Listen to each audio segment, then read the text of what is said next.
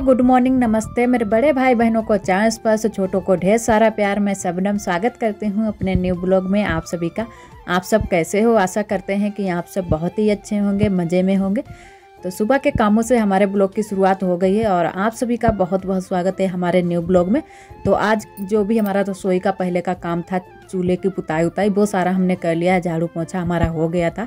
उसके बाद में हमने चूल्हा जला दिया है। चूल्हे पर भगोने में हमने रख दिया है राजमा उबलने के लिए तो हमारा तब तक राजमा उबल रहा है और इधर हम थोड़े से जो हमारे लहसुन, प्याज जो भी मसाले थे, वो हम पीसने लगे हैं तो लहसुन, प्याज थोड़ी सी अदरक डाल ली है और दो टमाटर लिए हैं और दो हरे मिर्च भी हमने पीस लिए थे इसी में तो अच्छे से हमारा टेस्ट आएगा।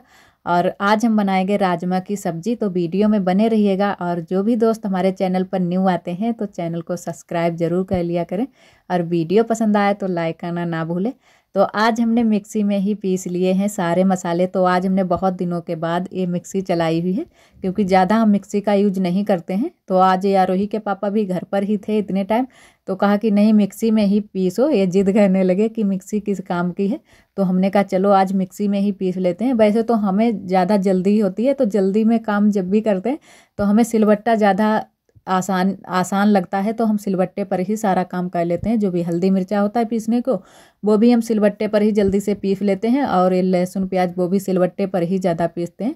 तो आज हमने मिक्सी में पीस लिया और मिक्सी के लिए कोई अभी सुविधा नहीं है ऐसी जहाँ पर अच्छे से बोर्ड लगा हो और उसमें पीस जाए। तो इसी वजह से ज़्यादा हम मिक्सी में नहीं पीसते हैं। वैसे मिक्सी भी है, रखी रहती है। तो कभी कभी पीस लेते हैं और इधर हमारा देखो राजमा उबल गया है तो हमने थाली में कर लिया है और धनिया की पत्ती भी काट ली थी। क्योंकि हरा धनिया हमारे पास था तो वो पत्ती भी हमने काट कर रख ली है, नहीं तो भूल जाएँगे बाद में तो साथ में ही हमने काट ली है। और सिलवट्टे पर हमने हल्दी मिर्चा पीस लिया है, क्योंकि वहाँ पर हल्दी मिर्चा हमने नहीं पीसा था। और वैसे भी पिसा, पिस, पिसा वाला है तो हल्दी है, मिर्च नहीं है तो इसी वजह से हमने कहा कि सिलवट्टे पर ही हल्दी मिर्चा पीस लेते हैं। और जो भी हमारा प्याज, लहसुन था, वो हमने मिक्सी में ही पीस लिया था। और चूल्हा जला लेते हैं और राजमे को बनाना शुरू करते हैं। तो हम बहुत दिनों के बाद अब की राजमा बनाने जा रहे हैं। वैसे एक दो बार पहले भी खाया है, लेकिन ज़्यादा नहीं खाया है। आलू वाली सब्ज़ियाँ होती हैं, वो ज़्यादा खाई जाती हैं। ये वाली सब्ज़ियाँ कभी कभी ही बन पाती हैं। तो बहुत दिनों के बाद आज हम बनाने जा रहे हैं। दो तीन मंथ हो गए हैं, उसके बाद में ही हम बनाने जा रहे हैं राजमे की सब्ज़ी। तो थोड़ा सा हमने पहले एक बार बनाया था दो तीन मंथ हो गए हैं तो वही वाला अभी रखा हुआ था थोड़ा सा बचा हुआ। तो हमने कहा आज इसको बना लेते हैं तो ये भी ख़त्म हो जाएगा तो तो थोड़ा सा हमने डाल लिया है जीरा और पहले हमने एक बार बनाया था तो इसको पहले जो ये राजमा है इसको अच्छे से फ्राई कर लिया था, उसके बाद में ही बनाया था। तो आज हमने फ्राई नहीं किया है, आज ऐसे ही बनाएँगे तो हमने कहा आज ऐसे ही बनाकर देखते हैं। तो जो हमने मस लहसुन प्याज पीसा हुआ था वो भी हमने डाल दिया है भुनने के लिए। तो आज सादा सादा ही राजमे की सब्ज़ी सादी सादी ही बिल्कुल सिंपल तरीके से ही बनाएँगे। और अच्छे से भून लेते हैं और दो टमाटर भी हमने इसमें भून लिए थे। ऊपर से टमाटर हम नहीं डालेंगे क्योंकि वो थोड़े से बड़े बड़े से रहते हैं, फिर अच्छा नहीं लगता है। तो सबकी पसंद का ही बनाते हैं क्योंकि बहुत सारे लोगों को नहीं पसंद होते हैं ऊपर जो डाल देते हैं टमाटर। तो इसी वजह से हमने उसी में पीस लिए थे, जो भी हमने मसाले पीसे हुए थे। और थोड़ा सा डाल देंगे नमक और उसके बाद में राजमा डाल देंगे, अच्छे से हमारा भुन जाए जो हमारे मसाले हैं।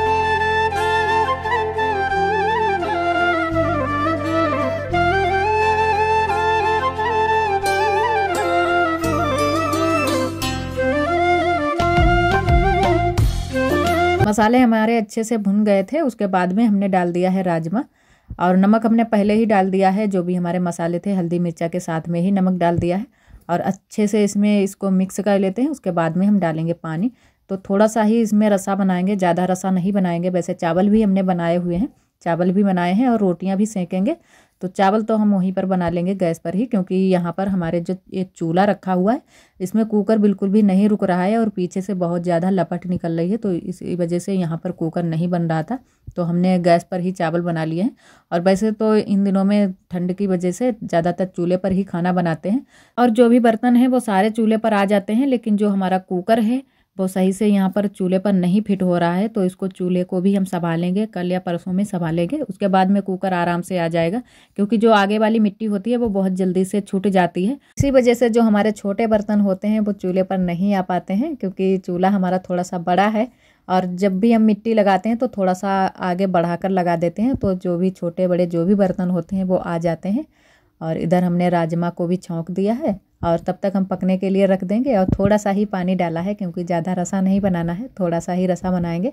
और तब तक हम तैयार कर लेते हैं आटा रोटियों के लिए, क्योंकि रोटियाँ हमें चूल्हे पर ही सेंकनी है तो थोड़ी सी सेंक लेते हैं रोटी। और चावल हमने थोड़े से ज़्यादा ही बनाए हैं तो रोटियाँ बहुत ही कम आज सेंकेंगे तो थोड़ा सा ही आटा बनाएँगे। और तब तक हमारी सब्ज़ी पक रही है और बहुत ही धीरे आँच में हमने कर दिया है चूल्हे को, क्योंकि पक ही गई थी। बस थोड़ी सी हुई तो पकने को होती है, क्योंकि राजमा जो हमारा होता है वो तो उबाल ही लेते हैं पहले से ही तो थोड़ी सी ही देर तक हमने रखी थी सब्ज़ी और हमारी पक गई थी और बहुत ही अच्छे से सब्ज़ी बनी थी। और इधर हमने चावल परोस दिए हैं थालियों में, आरोही की थाली में परोस दिया है और आरोही के पापा की थाली लगा दी है। तो दोनों में परोस देते हैं सब्ज़ी।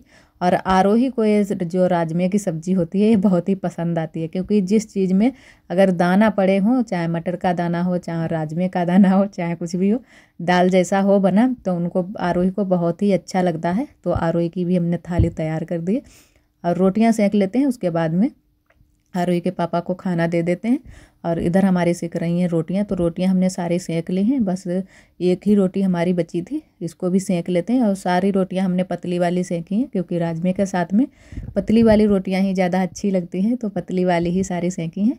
और सारे लोग खाना खाने के लिए भी आ गए थे तो सारे लोगों के लिए थालियाँ भी लग रही थी। तो बस आज तो सब्ज़ी हमारी इतने टाइम के लिए ही होगी, क्योंकि थोड़ी सी ही सब्ज़ी बनी थी और सबको बहुत ही पसंद भी आई थी सारे लोग खाना खाने के लिए आ गए थे और खाना भी हमारा सारा बन गया था। और इधर उसके बाद में आ गए हैं रसोई में साफ़ सफ़ाई करने के लिए।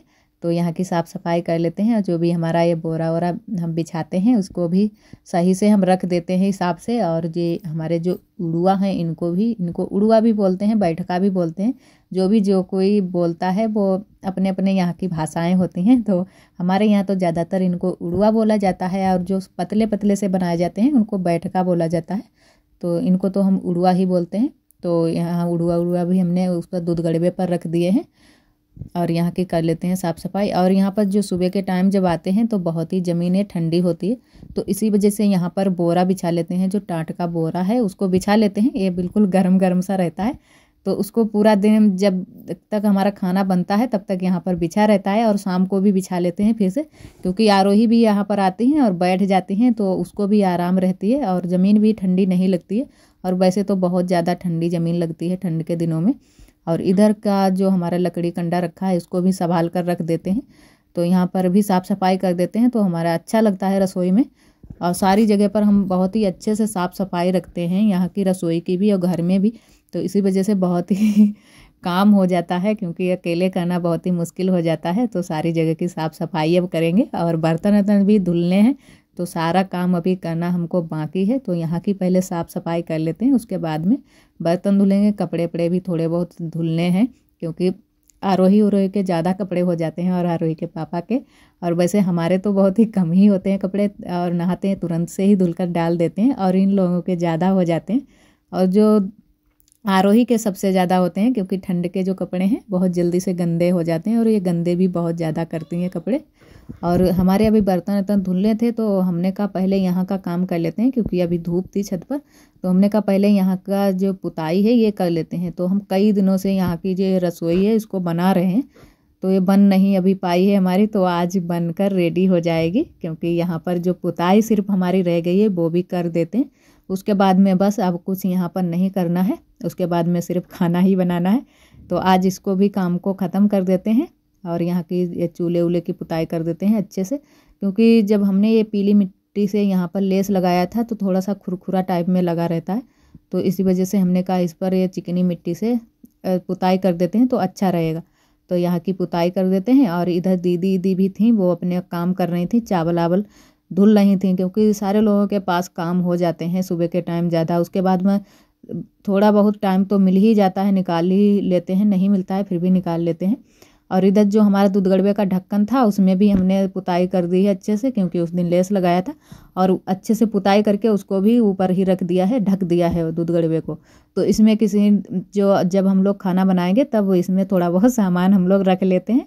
तो हमारा सुरक्षित रखा रहता है तो इसी वजह से इसको हमने बनाया था ढक्कन को। छत पर भी हमने रसोई बनाकर तैयार कर दी है और बहुत ही मेहनत कर रहे हैं। दो तीन दिन से तब जाके हमारी रसोई बनकर तैयार हो पाई है। तो यहाँ पर अच्छे से पुताई कर देते हैं और जो भी हमारी ये डिज़ाइन बनी है, इसमें भी अच्छे से पुताई कर देते हैं और उसके बाद में हम कल या परसों में यहाँ पर खाना आप बनाएँगे, क्योंकि सुबह का खाना हम यहीं पर किसी किसी दिन बनाएँगे।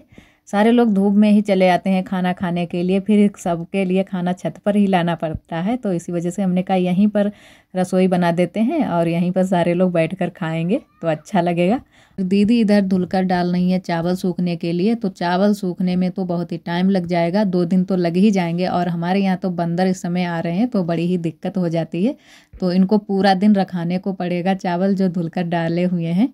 और चावल ये धुलकर डालो तो जो रोटी हमारी बनती है, चावल की बहुत ही अच्छे से बनती है। तो इसी वजह से सारे लोग धुलकर ही डाल देते हैं चावल, उसके बाद में ही आटा पिसवाते हैं। और उसके बाद में हमारा छत पर की रसोई में पुताई कर दी थी हमने अच्छे से। सारी जगह पर पुताई कर दी थी, जितनी भी हमारी पुताई करनी थी। और यहाँ पर आ गए हैं नीचे। तो जो आरोही का ये बैग है, बहुत ही गंदा हो गया था। बहुत जल्दी से बच्चे जो कपड़े भी गंदे, बहुत जल्दी से कर लेते हैं। और बैग एक जो भी होता है, वो भी गंदे कर लेते हैं। तो हमने कहा इसको धुलकर डाल देते हैं। और आरोही आज स्कूल नहीं गई थी तो हमने कहा आज ही इसको धुलकर डाल देते हैं, सूख जाएगा। और ये इनके दस्ताने थे तो ये भी हमने धुलकर डाल दिए हैं। ये भी बहुत ही गंदे इन्होंने कर रखे थे। वैसे पहनती तो नहीं है, लेकिन कभी कभी पहन लेती है, फिर गंदे ही करके छोड़ती है। तो दस्ताने भी हमने धुलकर डाल दिए हैं और बैग भी धुल दिया है। और इधर ये हमारा बेड शीट था तो इसको भी हमने आज उतार दिया है। हमने कहा इसको भी धुल देते हैं। और बाकी के कपड़े हमने धुलकर डाल दिए थे, वो आप सभी को नहीं दिखाया है तो ये भी धुलकर डाल देते हैं सूखने के लिए। और उसके बाद में हम धुल लेते हैं हाथ, क्योंकि काले बर्तन जो चूल्हे पर के होते हैं, वो धुलो तो हाथों में काला काला सा लग जाता है तो बहुत ही अच्छे से धुलने पड़ते हैं तो नाखून नाखून के पास में काले काले से भर जाता है। और आज का ब्लॉग दोस्तों, बस यहीं तक। आज का ब्लॉग हमारा कैसा लगा, कमेंट में ज़रूर बताना। कल फिर मिलेंगे एक नए ब्लॉग के साथ में, तब तक के लिए आप सभी दोस्तों को नमस्ते।